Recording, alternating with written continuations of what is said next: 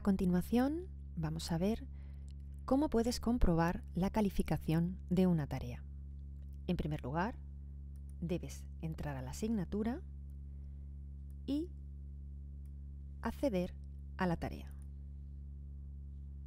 Como ves, el estado de la misma ya aparece como calificado y en la parte inferior puedes comprobar que has obtenido una calificación de 70 sobre 100 y que el profesor ha realizado una serie de comentarios de retroalimentación.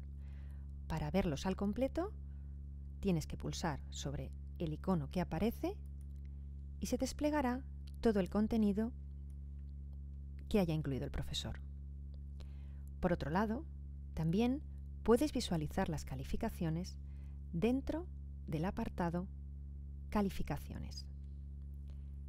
Dentro de la opción Ajustes, Administración del curso, Calificaciones, puedes comprobar en este calificador general cuáles han sido tanto los comentarios como la calificación que el profesor ha asignado a tu tarea.